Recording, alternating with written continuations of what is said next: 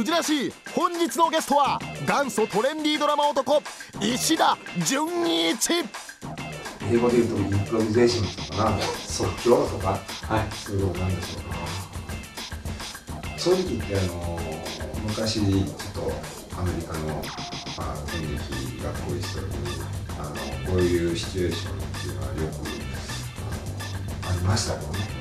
即興芝居はアメリカ仕込みの石田純一。いつも見せるあの爽やかな演技の裏には理論に裏打ちされた演劇哲学があった。今宵釣りなしの舞台で妥協のない男の即興芝居が展開される。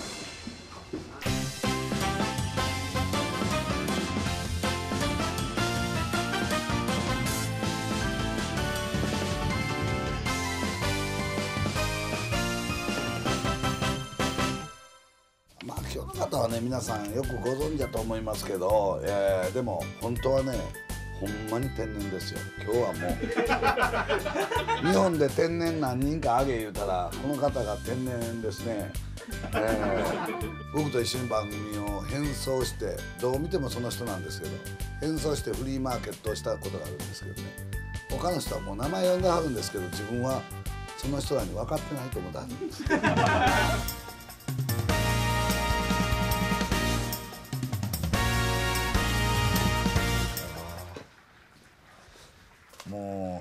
一天然だと僕は思いますね。そうです一緒におじさん計画をやった時に 変装してね向こうの方が石田純一と言うてんのに本人はもうあれまだわからないで汗だくやったよ。本当にね。ちょっと話聞いていいですか、はい、あの一星君とは話するんですか？うんあの子はしっかりしてますね。いやほうって。僕はっていうのがちょっといや僕はね石田純一より絶対石田一世の方がしっかりしてると思いますよ。そうかもわかんない。そうか。喋ってて一緒にまあ飲んでてもちょっとあの言った芝居論みたいななる時ありますか？芝居論はまあたまにあるけど芝居は向こうの方がうまいからね。いや本当これは。ナイス。だけどね、まあ、生き方としてはまだまだだなと。あいつは甘い。あえ石田一世は甘いですか？甘いっすよ。いや可愛いよ。俺から見ても可愛いんだけど、うんうん、まあ、甘いっすよ。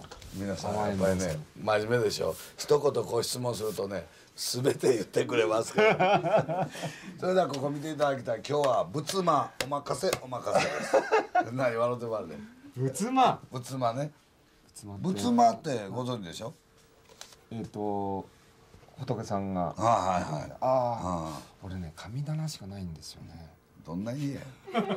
子供の頃は仏間はなかったですか？ないないですね。ずっとマンションですから。いやマンションでも仏間はありますからね。まあ仏間っていうか。そんなにね、うん、こう余裕がないっていうか。ああそうですか、うち長屋の息子ですけどまあ仏間というか仏壇のあった部屋はありましたですよ。ありました。ええだだからあれ行いがいいというか。行いってね。運がいいんですいやいや僕運がいい。行いと運は違うなんだ何を言ってんねんこれ。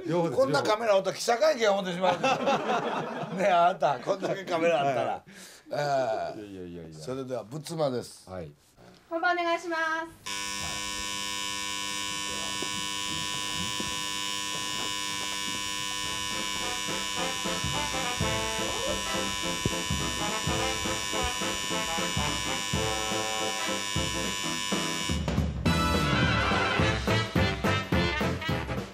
この番組は台本も打ち合わせもない即興ドラマをお送りしてまいります。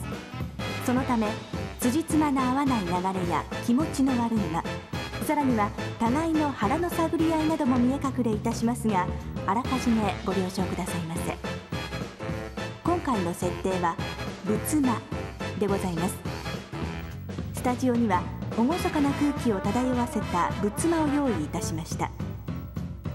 重厚な存在感を放つ仏壇以外にはあえて何もない簡素な仏間としまた隣にはソファーのある洋間を用意いたしましたがこれらの状況をどう解釈しどう演じるかは出演者の自由となっております。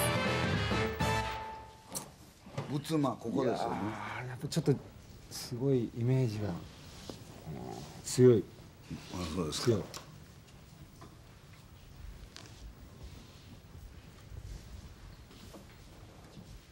どどうします？2人がここからスタートしましょうか。入ってくるとかそんなんなしに。入ってきましょう入ってきたいですか？いいしたしたいようにしてください。いいですよ。入ってくる。どちらでも。いやいや僕も大丈夫です。久しぶりに厳しい目になってきましたね。入ってきましょうか。入ってくるはいはい。それではあっちが入り口ですね。はい。はい。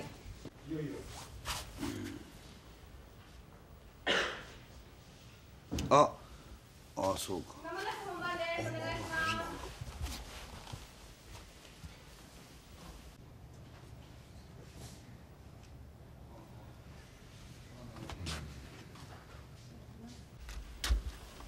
え火つけてもいいんやろ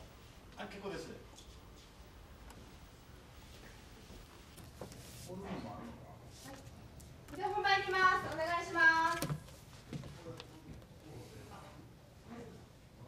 10秒前875秒前43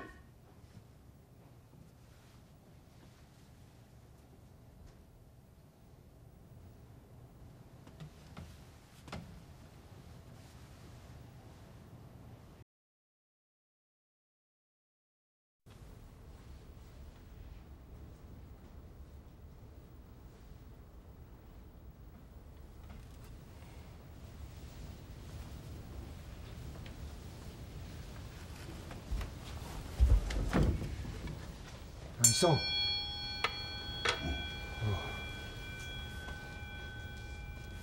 あいつらは。まだや。まだ。一緒じゃなかった。まだや。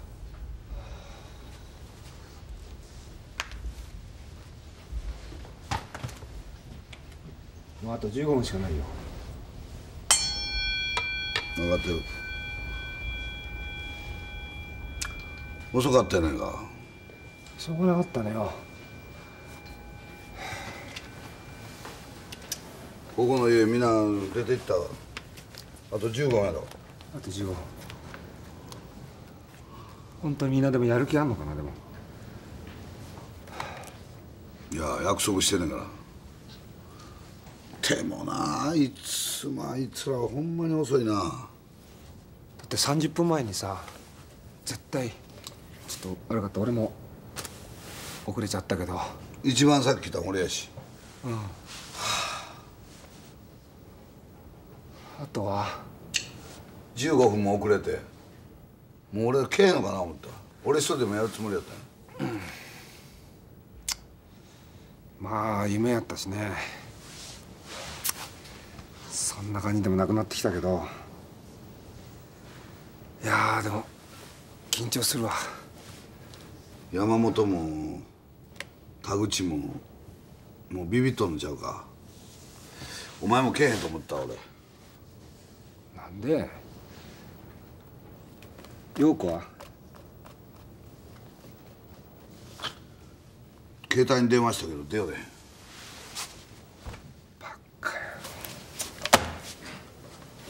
何してたんや15分。いやいや。お前が言い出したことやろ。いや。お前が言い出したのにお前俺が一番最初に来るってお前。俺はどっちでもよかったんや。お前が言い出すからやなほんならやろうと思ったんや。時間守れよお前。時間大切やしな。時計合わせようかでも。今16分30秒。だからあと10分やあと10分経ってけへんかったら2人で行かんしゃあないやないかお前ようくん電話したんか？ちょっとね。ようくはどないとった？いや昨日まで何度か連絡はしてたんだけどいや話したっていうかだから留守電に入れたっていうかそんな感じだ全部話したんか？いやいやそれはあんま言ってはいないけど。言言うたらお前びっくりしてんだ。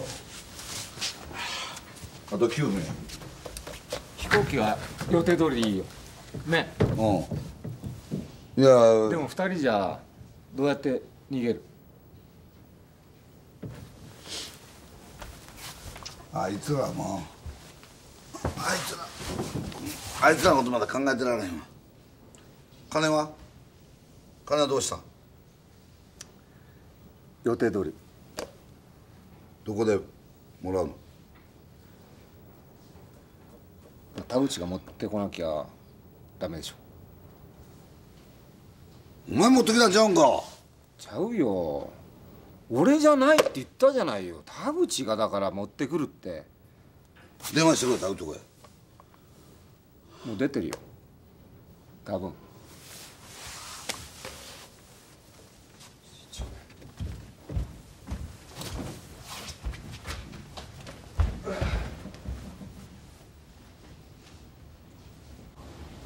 あもしもしえ盗聴されてるか分からんからお前。30秒ぐらいで切れよ。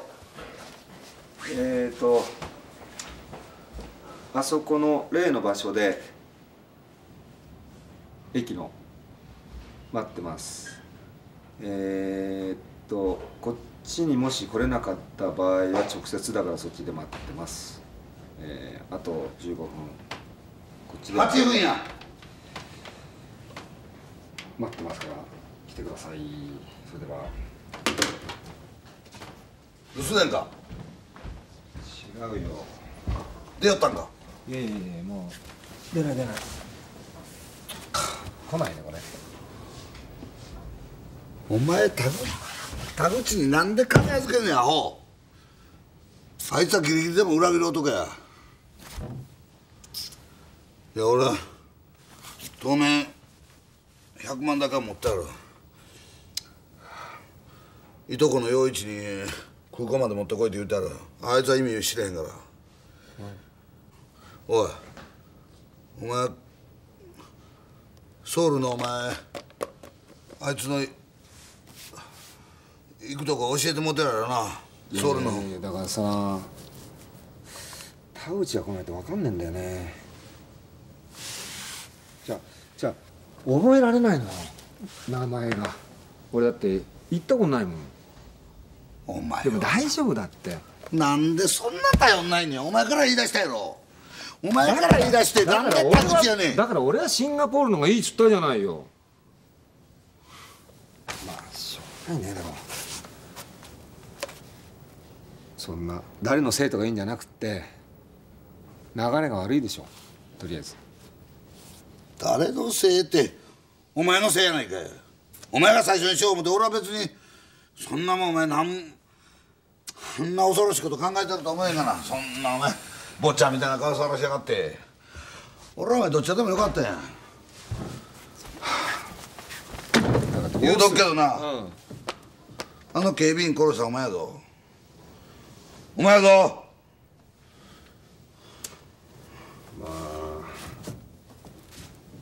こうなったら一緒やな。何が一緒やでだからもうだからもうバーンと派手にやって行こうやじゃあ。あと5分や。どうな？んこのまま。ずらかるんじゃないでしょ。だからやろうよ。最初の予定通り。俺はいいよ。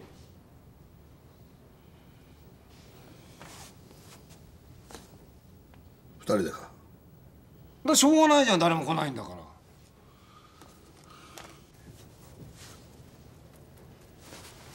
待っとけ何？はあしかし。あれやな。やっぱ兄貴がいないとダメよ。陽一か。陽一か。あ俺や。おうあもうついとんか。おいお前の友達におう木村おるやろ。あれにな何にも言わんとあのー、こっちのおうそう住吉の家に来てもらってくれ。うん。あこの手こしょの番でな。何も言うなよ。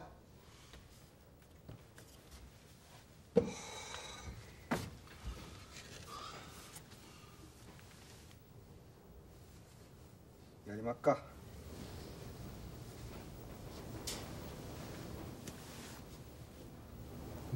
な俺手染めんのは嫌やぞ。一緒にやることやるけど殺しはお前やれよ。お前も一人殺しとんや。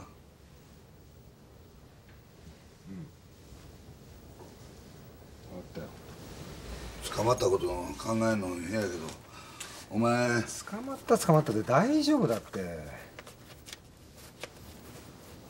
お前5年かかってる。5年だからちょっと今展開が悪いから最悪のことを考えてもしか俺たちも別れたら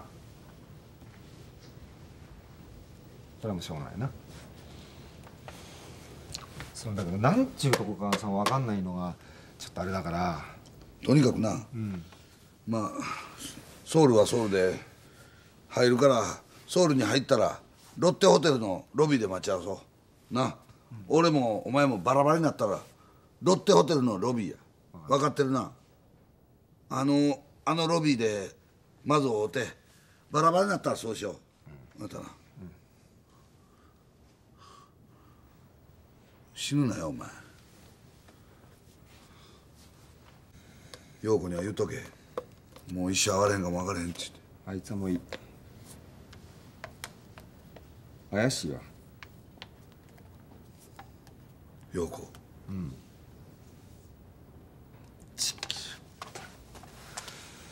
最後でこんなのになるなんてな。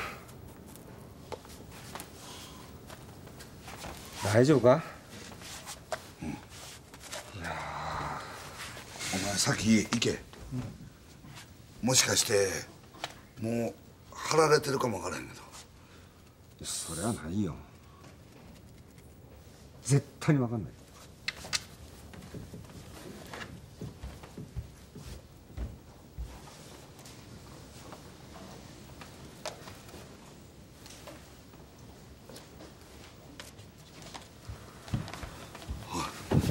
何人か嘘うろうろしてんのお前見てこい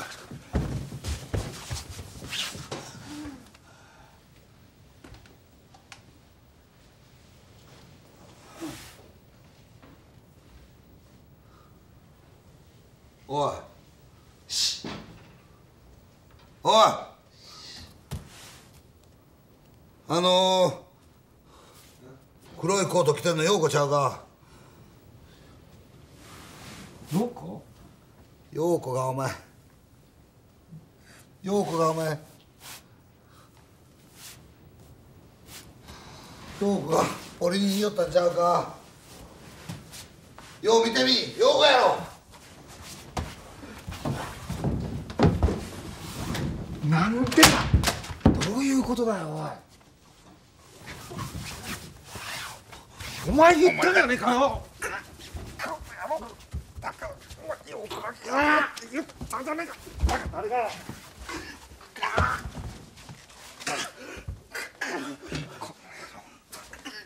お前こんな顔した女ったらしがそうやろだ。からさ嫌なんだ。よ俺はこういうのにさ女とかさ嫌いだよ。どうすりゃいいんだよ。やっべえじゃん。申し訳な。いとりあえずこっちから出よう。あれ間違いないでしょ。どう庭はどっちどっちに通じる。お前そっちから行け。ロッテホテルのロビーやぞ。あった。よしもう行け。俺もこっちから行け捕まんなよ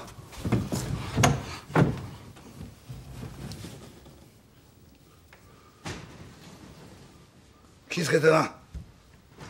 石川。気ぃつけよ。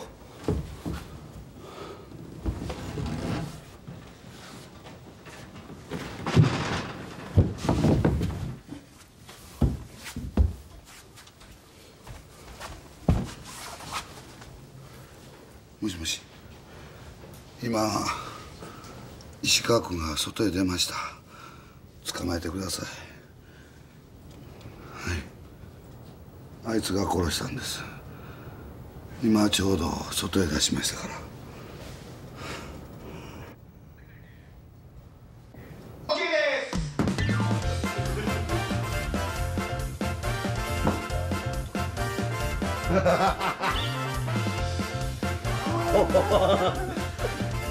俺が女たらしやって。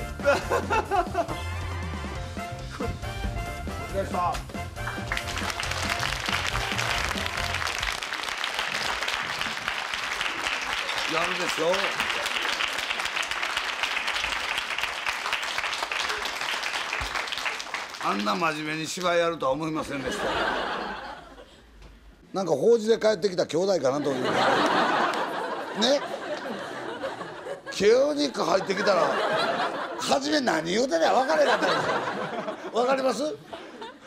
まだかとかなんか言うてるから何言うたはんねやろこの人あと。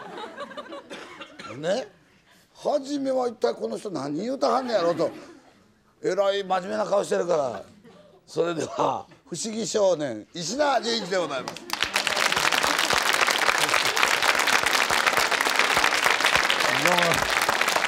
なかなか良かった。ええええドラマやでこれ考えたら。本当ですか？筋なしね。ほんまに筋なしですけど。いやいやいやいや。最後良かったでしょあれ。け結果やっぱりあなたが殺人で俺が俺がゲロして警察へゲロして おとりに俺が使われてあなたを捕まえるという話ですよこれ。はいはいはいですね。そうですよ。ええ。うん、いや俺もまあそんな悪い男じゃないんですけど。これはでも仏間っていうのはどっちかというと外国暮らしですからこんなんあんまないでいしょ。やもうちょっとね正直言って圧倒されちゃったんですよね。あこのこんな大きいのってドラマでなんかないですねあんまり。そうドラマぐらいですよね。そうですね。ドラマ普通の家ではねこのマンションにはこれはふさわしくないですよねこのこの仏間は。そうです。異常ですよ。だからよっぽど大きな家やったところが失速して、これだけ持ってきたいう家ですあからね。僕は何の意味もなく仏壇に線香やってるんですけどね。ーいやなんとなくそうしちゃいますよね。うんそうそうそうそう。なんか火つけないと収まらないところがあってでもねあの余計なことかもしれないけど、こうだんだんマンションで僕らもそうなんだけど、こういう、まあ、神棚とか仏間とか、そういうのがだんだんこうなくなってっちゃううん。傾向あるじゃないですか、うんうんやっぱりねあのあった方がいいらしいんですよね。ああ、全然関係ないことです。よ全然天然天然でしょ？いやいやそういや本当真剣に考えてる真剣に考えてる。あった方がいいのよ。だってねあのまあ何かの象徴なんだろうけどでもこうやって「おはようございます」とかねええ「帰ってきました」とか俺なんかも大体まあ13日っていうのがえーとね、箱根神社にあの九頭龍さんという九の頭の龍って書くんですけどもこれはあの言ってみるとその神様の使者が狐さんうん。だったりするじゃないですか大抵。で箱根神社っていうのはまあ関東の鎮守うん。府だからまあ一番こうまあ上の位置のね。うんそこへ13日をお参りするんですか必ず13日行きます。あんたもまた石田純一が13日に神参りしてるとは。はい。えでね、あのー正直言って例えばお墓もそばにあってうちの親父なんかの、やっぱりもう毎回行けるわけじゃないんですけどえ13日を狙っていくわけですそうです。ね割と。そうすると意外とあのーまあとにかくね落ち着きますか。落ち着きます本当に。だからいいいいことしたなっていうか。でまあ本当はここだけの話なんですけど、うんまあいろんなまあおお金問題とかね言われてるじゃないですか。でわどうしてもこれもうねあと2ヶ月3ヶ月でもう終わりだなんていう時にねあのいやそういうのはねありがたいことになんか助けてもらってるような感じはありますよ。あんた別にここでそんなこと言わんでよ。ろしいでも分かりやすいじゃないですか。まあそうですよね、なんか。ふっと生き抜く分かるでしょ天然でしょもうこれの話にしましょうあそうでなんでどんどん喋ると全部喋るそれではまず行きましょうスタート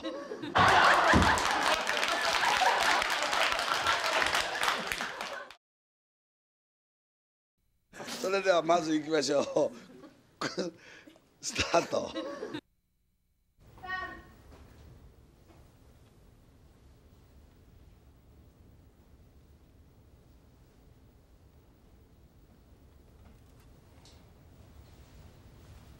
ストップ。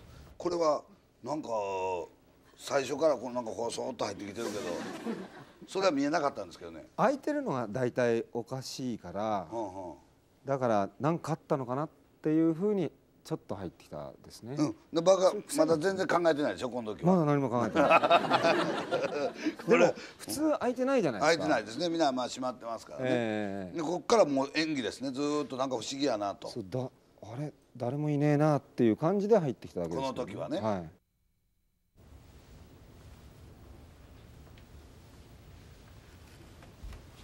こっから。何しとん？ストップ。これはどこの言葉ですか？あのね。何しとん俺ねそれがごっついしどこの人になってきてるの？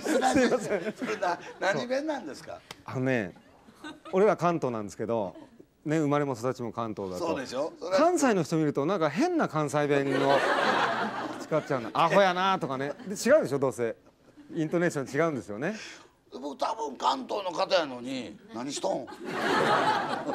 いやこの何しとんは会うてますよ。何どこの人間か分かりませんけど 何しとんっていう人とかいるでしょう。でもまあ僕らはごっつい知り合いやと、はい。い、うことは分かったんです、はいはいはい。でも何しとんはごっつい引っかかったんですよ。すいません。どういうことやろうなと。どうぞ。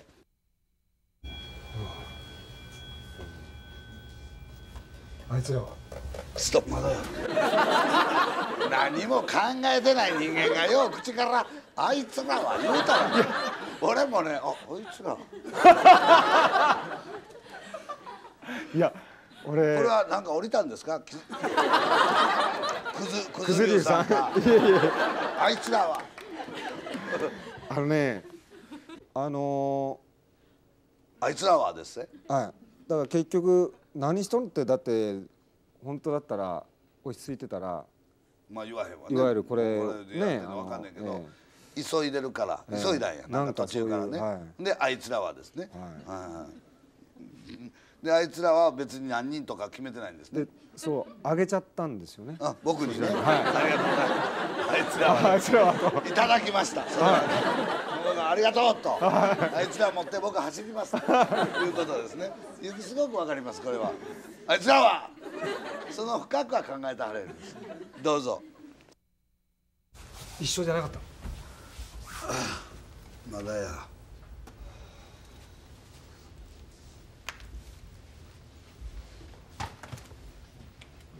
もうあと15分しかないよストップ。預けていただいて非常に悪いんですけど、あいつらと15分しかない。これはどうどうかかる枕言葉なんですか？ここはですね15分しかない。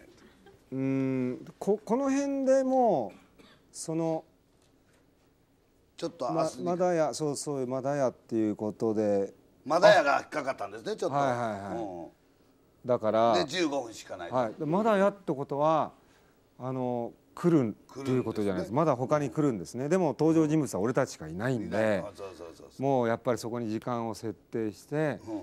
俺たちでもおの言葉ですけど「あいつらは」っていうのはあいつらが来るという意味の「あいつらは」でしょ？まあもちろんそうですよ。ね。だから、えー、15分しかないというのはあいつらが来るまで15分しかないと、、はいうことですねで僕はそれで何にもわからないんですけど預けていただいて、えー、15分でここの芝居を全部上げようと思ったんですよ。そうですね。この時点でね、ええ。あ15分やなっていうはいはいはいのを思ったんです、はいで時間はこれで刻んでいったらおもろいやろなという計画は立ったんでね。ええ。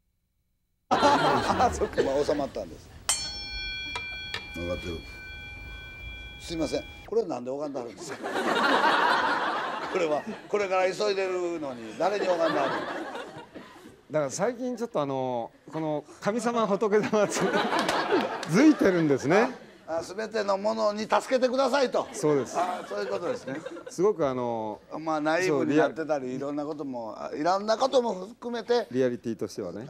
ご先祖さん助けてくださいと、はい。それでなんかねこういうのまあ俺らの癖だと思うんですけど要するになんかもう異常な事態っていうのをあれするために、うん。やっぱり変な形を作るっていうのは癖なんですよ。いやそうですよ。すごいこうなんかいやいやこう全くそうその方がね異常な時にある種、はい。もうこれから急いでる時にちょっと急いでる中の落ち着きですよね、はいはお前もけえへんと思った俺。い。なんで？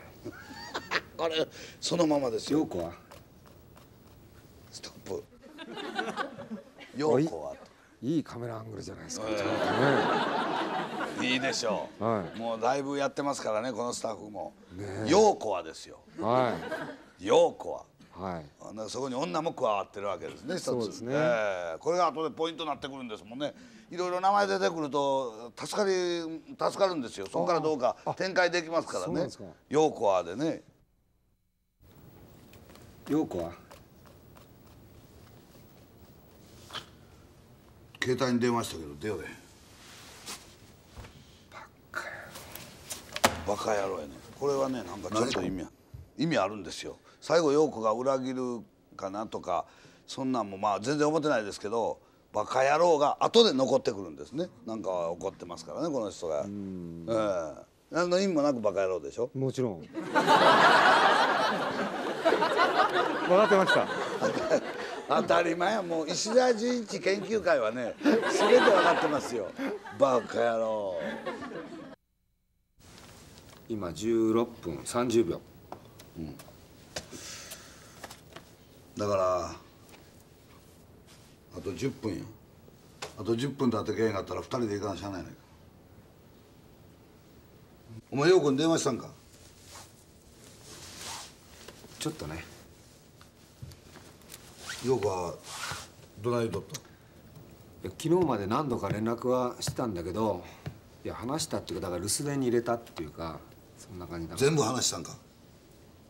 いやいや。そそれは。何にも何にもないのにこない攻めんのもおもろいでしょ。やったこともない分からへんの全部話したんか？でないと聞かないとこの人が何やったか分からないから。言う俺には言うてくれるやろ思うんですけど回り回って回り回って何やったか言わないんですよ何やったか言うのやったら俺もそこに乗っていくんですけど全部話したんか。いや。それで聞いてたんですよ。あなるほどね。おうお宅が投げたもん僕持って走ってるんですけど。どうぞ。あと9分飛行機は予定通りでいいよ。ね。うん。いやでも二人じゃどうやって逃げる？飛行機や。飛行機乗ってどっか行くのそれも僕は初めてでしたわ。こ れこれまで銀行強盗かなんかあの結婚するのかなと思ってたんですけどあねで飛行機であ逃げるんやという方向に行ったんですよ。金は？金はどうしたん予定通り。どこでもらうの？田口が持ってこなきゃダメでしょお前持ってきたんちゃうんか？ちゃうよ。お前田口田口になんで金預けんねんアホ。あいつはギリギリでも裏切る男や。いや俺は当面100万高持ってあるいとこの陽一に空港まで持ってこいって言うてあるあいつは意味知れへんから、おいお前ソウルのお前あいつの行くとこ教えてもてるやろなソウルの。だからさストップ。僕ねどうもあの持ってるねあれがね 観光の案内のね「ようこそソウルへ」とかあんなにオチはね「ここへ行こうよ」って言うんかなと思って。あのーあれがものすごく観光の案内のを引き抜いてきたようにこれ何持ってるんですか？これは全然関係ない何の雑誌ですか？あえあえら。アエラですか、ああはいアエラか。そうかそうか。あれ覚えられないな。名前が。名前。俺だって行ったことないもん。でも大丈夫だって。なんでそんな頼んないねん。お前から言い出したやろ。お前から言い出してなんで田口やねんだから俺はシンガポールのがいいっつったのにこれはね友達が旅行決めてるのが一緒このセリフはいらんでしょ。俺はシンガポールの方がいいって。なんでこんなこと言っちゃったんですかね。これはちょっとね坊ちゃんの旅行やないね俺はシンガポールの方がいいってこのセリフはね銀行強盗した人間やと思われへんですよ。ですね。俺はシンガポールの方がいい。どうぞ。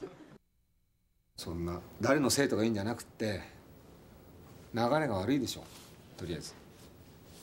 誰のせいってお前のせいやないかい。お前が最初にしよう思って俺は別にそんなもんお前なんそんな恐ろしいこと考えてると思えんがな。そんなお前坊ちゃんみたいな顔さらしやがって。俺はお前どっちでもよかったやん。言うとくけどな、あの警備員殺したお前やぞ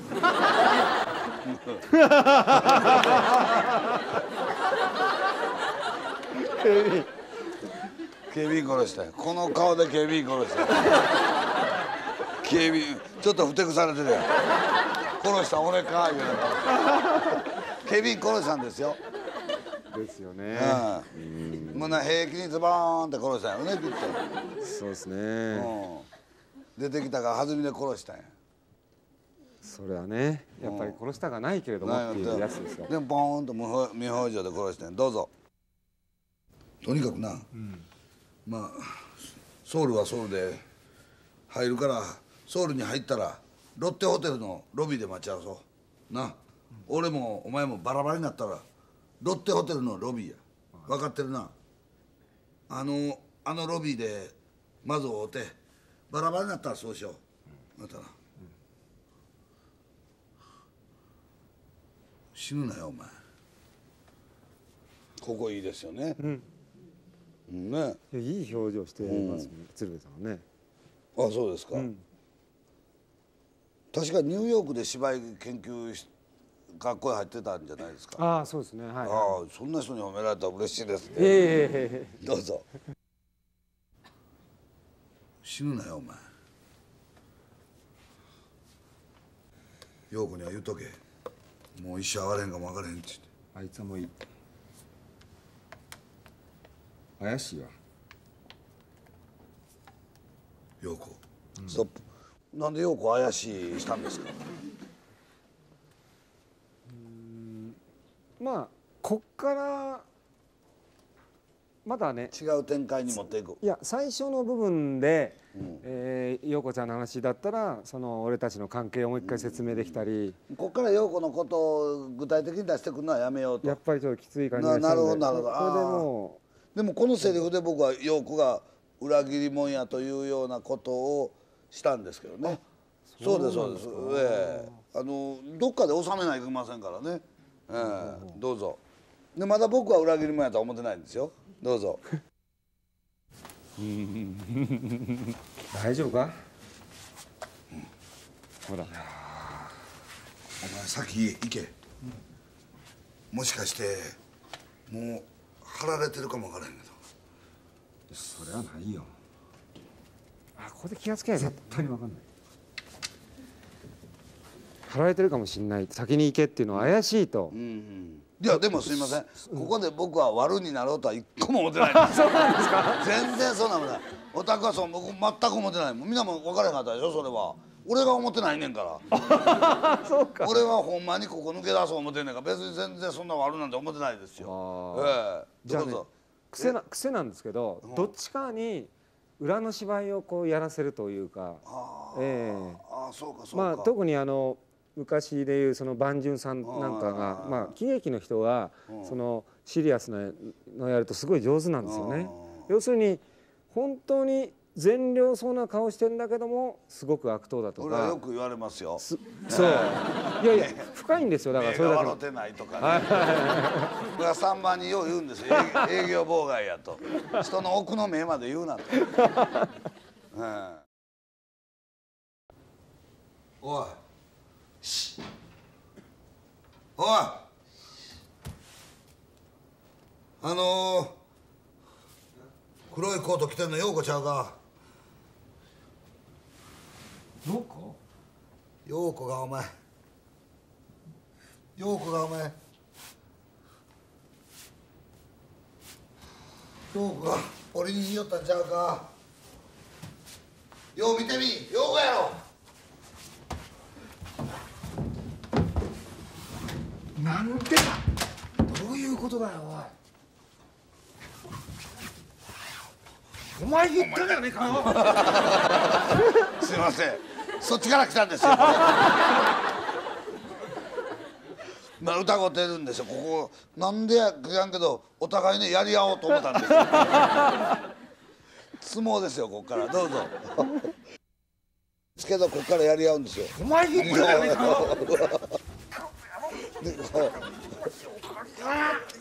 人ぎっくり腰やのに。こ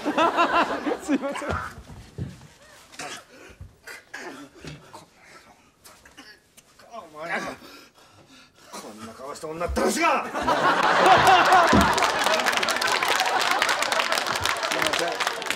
これ関係ないでしょ。なんで女ったらしなんですか。そんな言うてる状態じゃないじゃないですか。あのそんな顔して打ち上がってとかなんか言ってたから。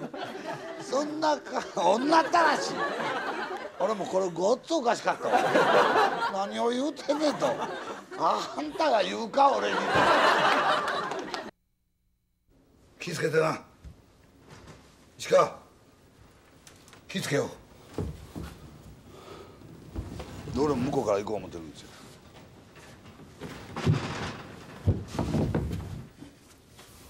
ここや。ここでねあれ見たんですよ。あの電話を。あこれオチにしようと思ったんですよ。足の体重とあって思ったのがあれうんバーっていっちゃってますからね。でだからどっちに行こうと思ってうろたえよう思ったんですよ。でふっと見たらあ電話やと。ほんでここで思ったんです。その振り返ったとこ電話立ってたから、はいはいはい、うんその場で思ったんです。どうぞ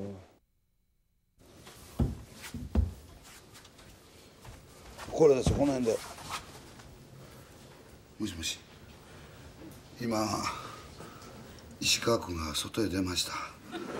捕まえてください。はい。あいつが殺したんです。今ちょうど外へ出しましたから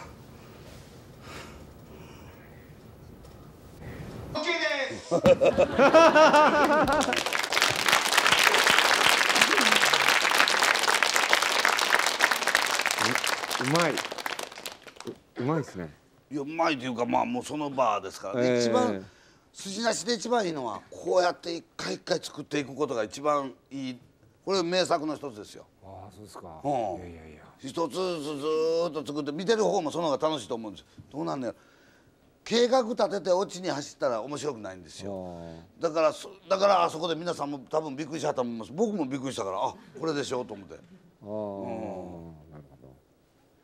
やこの最後はねなかなかこう僕あっち行っても読めなかったっていううん。か、いやだから僕も全然あれなんですけど。綺麗にまとめてもらったようなあれですけど、でもいいしいいこれえーそうですね。このタイトルは罠でしょうねやっぱあり おもろいですよこれは。これちょっと名作ですよね。まあ自分らの自画自賛かもわからない。ーでも途中で自分がねもういいやもうやろうやもうもういいやほらほらほらっていう、そういうふうなちょっと本当にこうなんかだらしのないなんか意見のないような男が「もういいよやろうよ」ってこうい言った瞬間にどんどん展開していったような気がするんですけどね。まあなかなかの分かりましたでしょ？この人の性格も全て。こういう番組が一番性格出るんですよ。ああそうですか、うん、やっぱこういうのが一番出ますよ。うんいやこれからこういう見方で石田さんを見ていただいて 今日は本当にどうもありがとうごいざいます。えいえどうもどうも。石田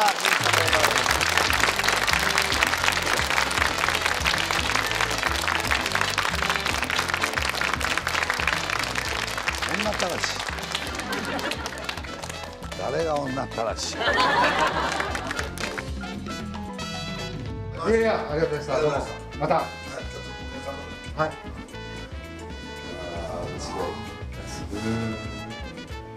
やっぱりすっごいあのちょっとね考えながらっていうのはやっぱありますからね難しいけどいきなり「何しとん?」から入っちゃったっていうか それがこういうふうになっちゃうそれは手を合わせてに決まってるやん